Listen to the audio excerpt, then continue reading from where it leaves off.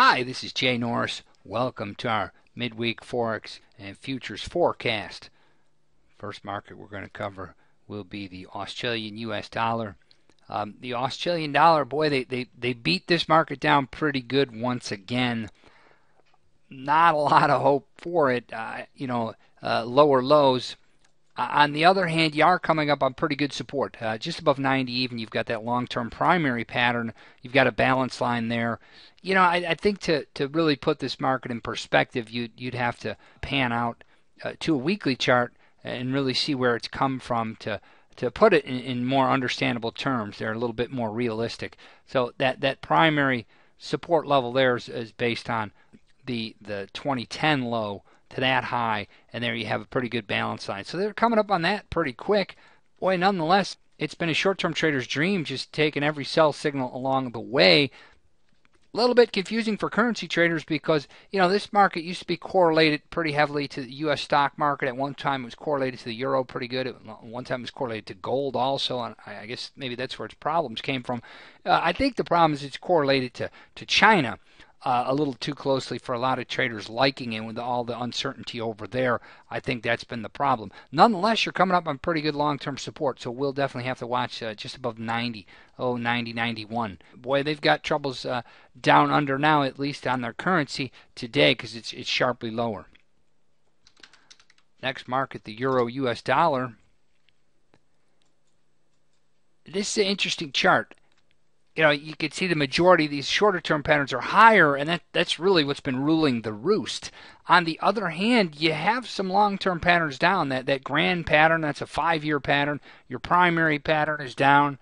Your short term secondary pattern is down. So I tell you what, you know, you go back uh, five, six months, the pattern's down. You go back uh, a couple of years, the pattern's down. You go back five years, the pattern's definitely down too. What happened today? That's what we call a change of direction candle.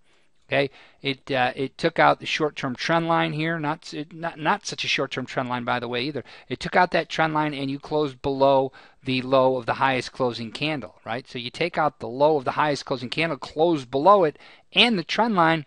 That's that's a reversal. So you have to take this seriously. Yeah, if you're a swing trader, a shorter term trader, maybe you don't take it so seriously. You're still because you've made a lot of money based on that day-to-day pattern, that that 10 and 20 day short-term pattern. Those are great for short term traders, great for day traders. On the other hand, you know there comes a time when you better pan back on these markets and and uh, and decide if that's serious not serious enough or not. To me, you have to take a change of direction seriously. Why? Because it's in line with those longer term patterns. Uh, we don't talk about the grand pattern a lot, but it's out there, and believe me, the, the older, longer term traders, uh, they tend to pay attention to that too. So, yeah, I know you've got the majority of patterns up here, uh, you got the majority of short-term patterns up, but don't forget you've got long-term resistance coming up. So you know, t- today could prove to be uh, a, a, significant event in that market. That, that short-term secondary balance line there, that balance line resistance held up, and now you got a big change of direction. So you've got to take it seriously. Next market we'll take a look at is dollar yen. Here's another one where you you did change direction you didn't quite climb above that trend line, uh, but you did close above the high, the lowest closing candle. Why do you have to take that seriously? Because the primary pattern's up, the secondary pattern's up. If you're a long term trader, you're a position trader, you're not so interested in what's going on intraday, you need to know when uh, the daily direction changed directions. It did. So, you know, this is something that we can't rule out uh, a potential big change today, too. Wouldn't mind seeing it go back down, maybe double bottom, but um, you know the markets uh, don't always do what I'd like to see them do. So with the primary pattern up, with the secondary pattern up in dollar yen, uh, albeit the day-to-day pattern down, we have to take that change of direction seriously. So we'll be monitoring uh, dollar yen going forward.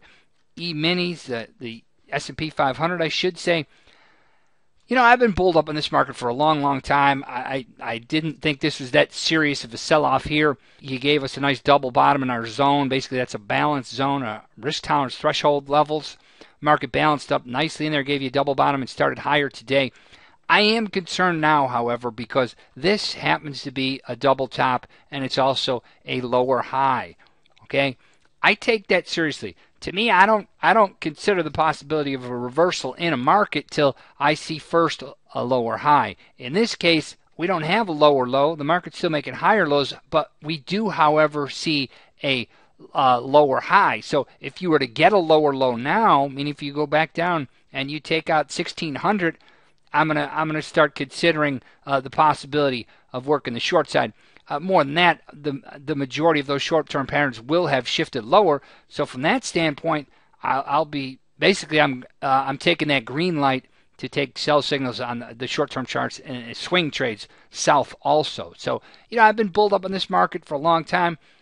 You tend to have a pretty good seasonal down right now. The summer doldrums set in and not quite yet. That's generally August, but you do tend to have a seasonal sell-off in the summer, and I'm I'm a little bit leery of that, especially now that you've got that double top in place. So wouldn't surprise me if you go down and and you take out that 1600 low and uh, and maybe even challenge uh, levels south of there.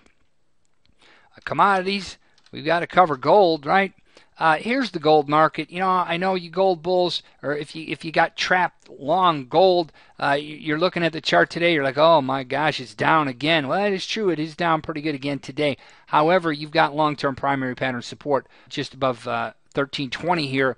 That may be a level to watch. And here's another one. I really think you to you have to pan out and look at it long term to put this guy in perspective from a longer term perspective, from the, the, the, perspective of a primary pattern, it's still just a correction. It's just it's still just a sell off, right? Now, if you're a short term trader or or even you know you, you, trade on the daily charts, it's it's been a catastrophic sell off too. If you got caught longer, right? I mean, they just beat they just kept on beating that market.